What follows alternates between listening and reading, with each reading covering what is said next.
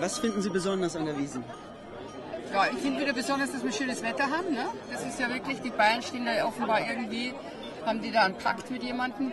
Und ja, jetzt freue ich mich einfach, äh, mit meinen Freundinnen dazu ein bisschen zu quatschen und dann gehe ich wieder heim. Ja, und was ist das Besondere jetzt an der Frauenwiese? Naja, das ist schon was Besonderes. Wir haben ganz klein angefangen.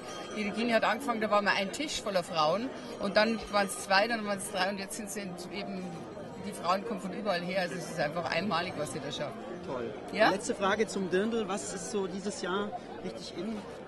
Sie gelten ja immer noch als äh, Ikone. Also ein Dirndl ist nicht in, ein Dirndl ist eben ein Original, wenn es möglich wäre, wäre schön. Und es gibt in dem Sinn keine Mode beim Dirndl. Das ist einfach, das ist zum Beispiel jetzt eine Münchner Tracht, die ist halt so und die ändert sich auch nicht. Die ist, wie sie ist. Sehr schön. Vielen Dank. Dankeschön.